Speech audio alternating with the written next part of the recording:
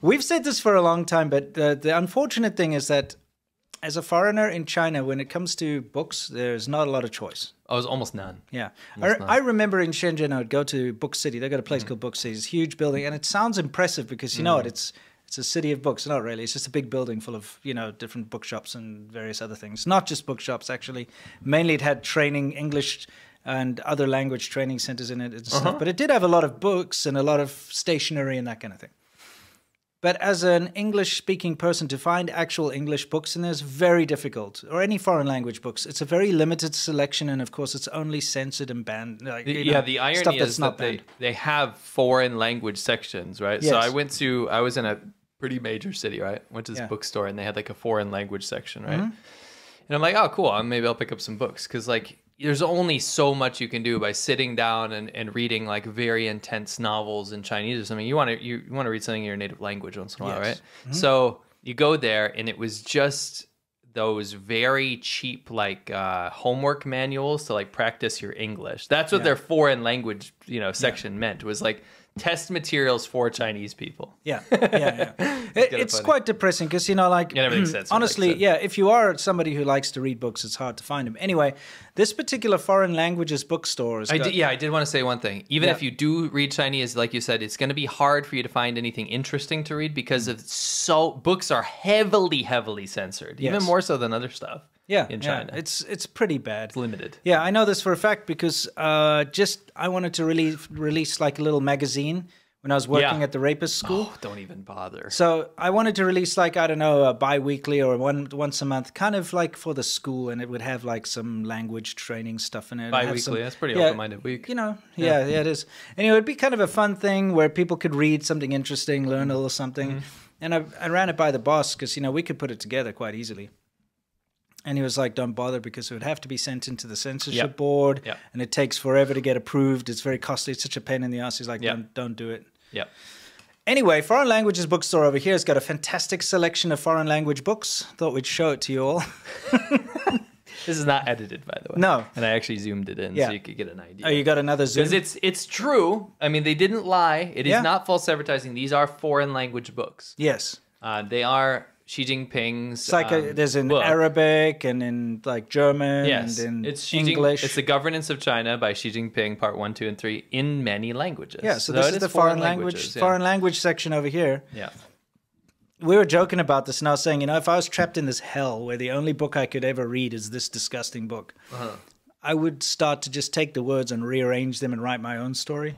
You know what I mean? Interesting. I'd make like an adventure story out of Xi Jinping's governance. It would be uh, considered a piece of art, I believe. Yeah, you know where you have to you, you're limited to only the, the words in that book. Interesting. But imagine you like you feel like you're trapped on a desert island or Yeah. something if this is the only thing you can read, right? Do you think if you only read this on a desert, let's say you had a, a year, Yeah. right?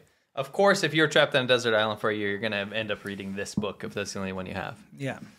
Do you think you would succumb to the propaganda or not? Absolutely not. Do you think I should have I should have phrased this better? Of course, Yeah. we wouldn't. No. um, because we understand China, and I have actually read some of this.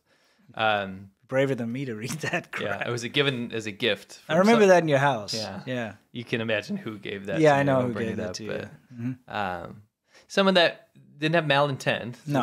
thought that I might understand China better. Mm-hmm. That's that's irony. Yes. I think you understand China worse if you read. yes, this if book. you read this book, yeah. Anyway, the governance of Xi Jinping, part one, two, and 3 Mm-hmm. Do you think the average person, human being, normal person that doesn't know much, do you think they would succumb to the propaganda? I think they would just fall asleep to be honest. Yeah, this be is a good- very boring. You wouldn't need Ambien. no, you know what I mean? Yeah, but I do think if you were limited and it was like a project and you could only use the words I in like there that and idea. mix it around, It's kind of cool. Yeah, that's what I'd do if I was stuck with that crap. Anyway, we should all know Zhang He Qing by now, by the way. If you're part of the show, uh, you'll recognize this. He posts a lot of fake shit. Yeah, he's always posting like absolute nonsense. But I went to go look at his feed um, today because I was just looking for panda stuff. If you search uh, at Zhang He Qing underscore He Qing panda, Yeah. you literally have hundreds of Yeah. panda stuff. Yeah. Because every time, like you say, there's something bad going on in China, it's like, look at this cute panda. This cute panda is hanging on the tree. This panda's doing kung fu. Oh, look, this panda's rolling. You know what I mean? We made rightful criticism Mm-hmm. um, I, on his account uh, under his post. that He keeps posting fake things, right? And it, it, we think it's immoral to be posting fake images and videos of lakes and trains, trying to Yeah, to- yeah. trying to make people think there's no genocide in Western China. Yeah, it's like China. this is Xinjiang, and he shows like a, fake, fake- AI Swiss Alps. Yeah, Swiss Alps of Yeah. AI. Anyway, so we, we rightfully criticize and be like, why are you showing this fake stuff? Anyway, he blocked me. He blocked. He didn't block me though. He didn't block you. He followed me. I said something, then he blocked me. Oh, what a dumbass. Uh, Hua Chunying did Blocked not me. block me, but blocked you. yes. So it's Very like interesting. it's, it We're is- two. We're two for two here. Yeah, it's kind of interesting. Yeah. um, with Chinese officials. This is a uh, from somebody sent me this from the Discord, which I loved. I wonder if we still have that soundbite. I would like to find it. Oh, here comes- There it is. So now we have the. Uh, I'll get it back to this. But guys, what this stems from is this ridiculous uh, apologist who is trying his best to stay in China, and he really his visa was coming up. We think, so. yeah. No, absolutely, it Yeah. was. Um, and he was trying to like I don't know somehow get the Chinese government to like have mercy and give him a visa. So he went on this ridiculous rant, okay, Hmm. on a beach, trying to praise China in every single way. amazing. It's the funniest It's like thing. the we, best shill yeah, attempt it's ever. Uh, it's and we did a whole thing about it. But anyway, part of it, he was trying to say, He also tried to get it removed. yeah, he was uh, trying. Doesn't to, work. no, he tr- he tried on to say, YouTube, dude. yeah, he was like, I'm. I think he was trying to say, I'm in I China. think he was trying to say I'm in China. But he says- 我在中国. It should Yeah. sound like this. 我在中国. yeah, but he said Does that sound like 我在中国? no.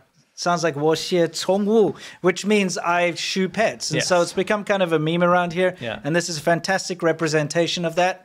Um, and Amazing, uh, right? it's awesome. Yeah. Might might make a merch out of that sometime because that's such a That's good so good design. because people would understand it if they were part of the show. 我写宠物, I just Yeah. love it. It's a great font. I love Everything. the uh, the all the animals on it. Yeah. It's really good stuff.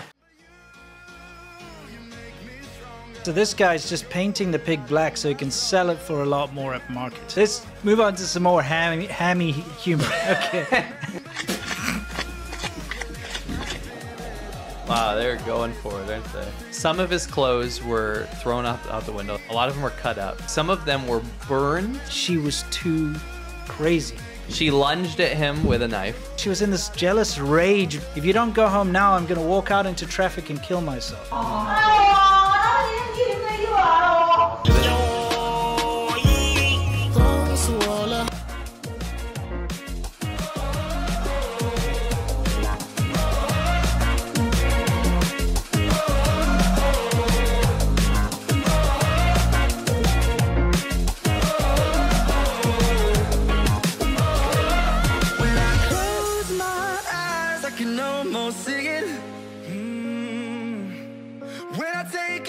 you fill up my lungs.